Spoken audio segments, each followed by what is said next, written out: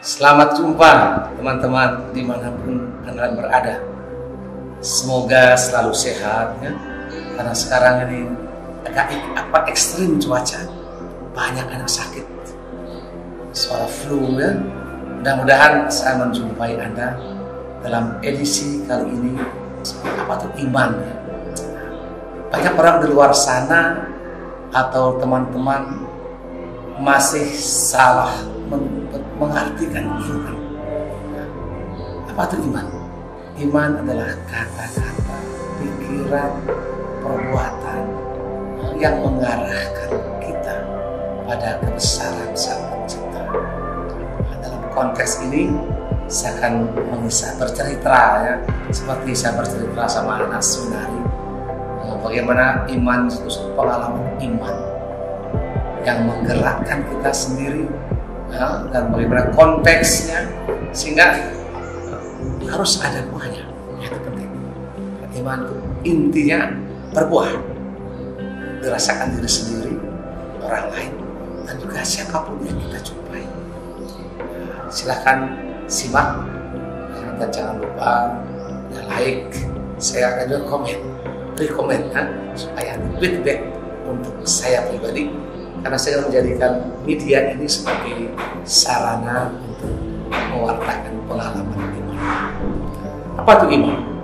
Kalau pertanyaan ini ditanyakan kepada anak-anak sekami umri atau anak sekami pada umumnya, mereka secara spontan akan menjawab percaya kepada Tuhan. Kalau ditanya lebih jauh lagi, mengapa kita percaya pada Tuhan?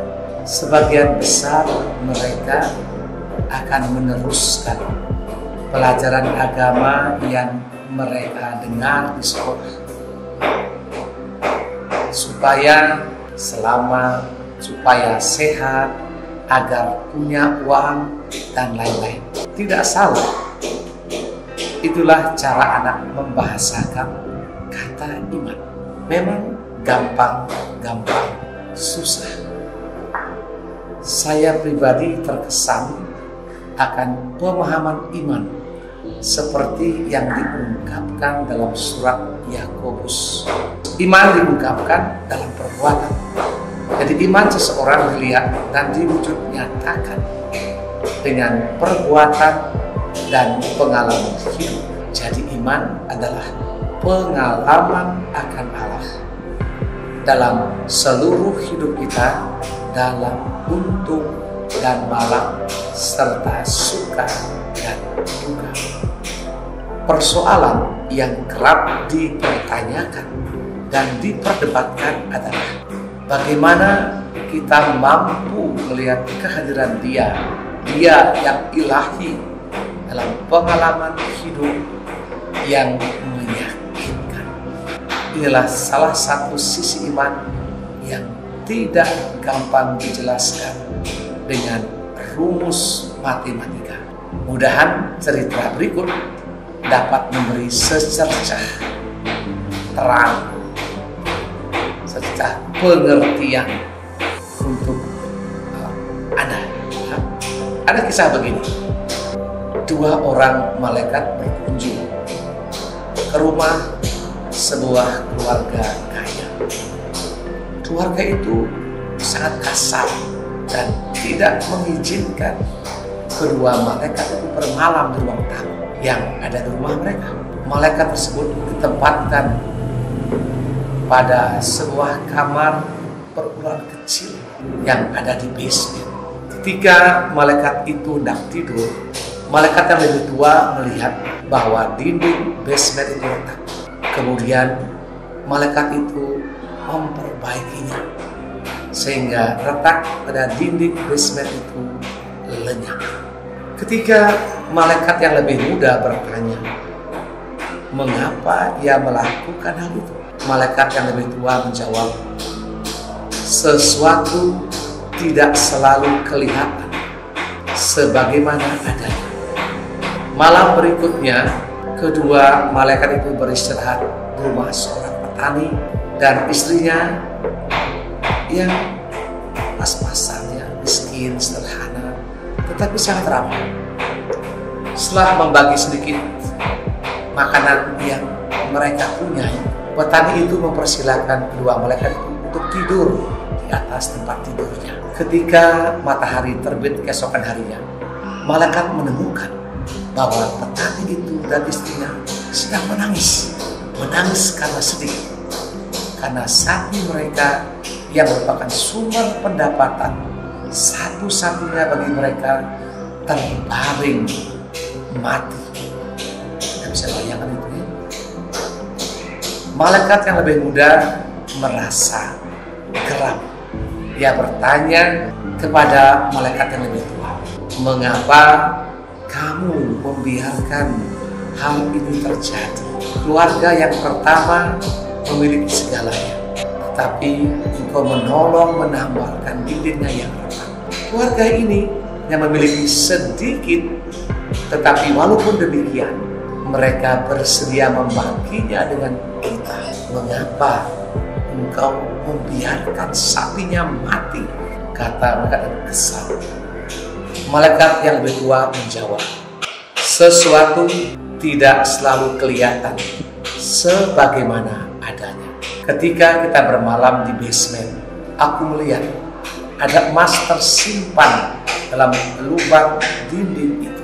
Karena pemilik rumah sangat tamak dan tidak bersedia membagi hartanya, aku menutup dinding itu agar ia tidak menemukan emas itu.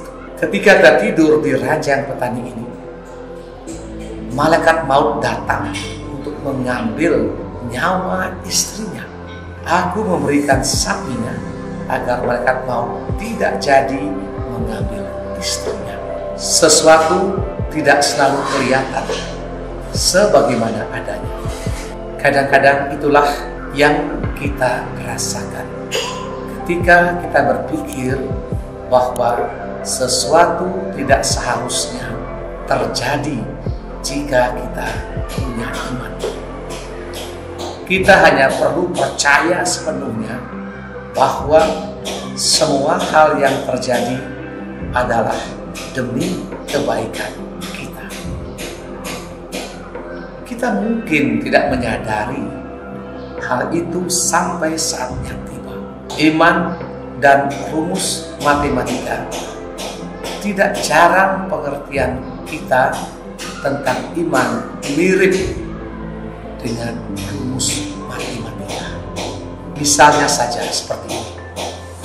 Saya kan sudah rajin ke gereja, rajin nyumbang, rajin membantu korban banjir, traktir para romo makan di restoran, dan lain-lain. Kok tetap saja ada sakit? Sepertinya Tuhan tidak peduli dengan apa yang sudah saya buat. Bukankah hal itu mirip rumus matematika? Dua kali dua sama dengan empat. Iman bukan rumus matematika. Sehingga kita tidak usah menghitung-hitung apa yang telah kita buat, kemudian menyimpulkan apa yang akan kita dapat. Iman hanya mengandung satu makna, kerjakan ini, kerjakan itu, dan kerjakan yang lain, agar hidup orang banyak dikembangkan. Ingatlah cerita di atas, terlebih nasihat malaikat yang lebih tua, yang senantiasa mengatakan, sesuatu tidak selalu kelihatan sebagaimana adanya. Mungkin dengan berbagai pengalaman hidup, entah senang atau tidak senang, sakit atau sehat, ada pesan Tuhan yang mau disampaikan. Pesan apa itu? Inilah yang perlu kita cari. Dan pencarian itu bukan dalam hitungan hari, minggu, atau bulan, melainkan sepanjang hidup. Jadi demikianlah apa yang saya sampaikan kepada teman-teman semua. Dan bagi saya ini terus terang mengagetkan juga saya. Kadang-kadang saya pribadi misalnya, tahun pertama senar tinggi, ayah meninggal. Wih, saya kaget. Dan jujur waktu itu saya ingin berhenti, ingin meneruskan, ingin berpulang, ingin bertani. Dan itulah pengalaman. Ketika saya renungkan kembali, rupanya ayah kembali ke surga untuk menyiapkan semuanya sehingga saya pribadi ke adik semuanya bisa hidup sel selayaknya dan diberikan berkat yang berlimpah-limpah dari begitu banyak semoga sharing pengalaman malaikat ini bagi saya begitu mengesankan mudah-mudahan anda juga mengalami kesan yang sama oleh karena itu Jangan berhenti setelah Anda menonton, di share, subscribe, dan komen. Agar channel ini makin bertambah. Demikian, sampai jumpa. Terima kasih banyak.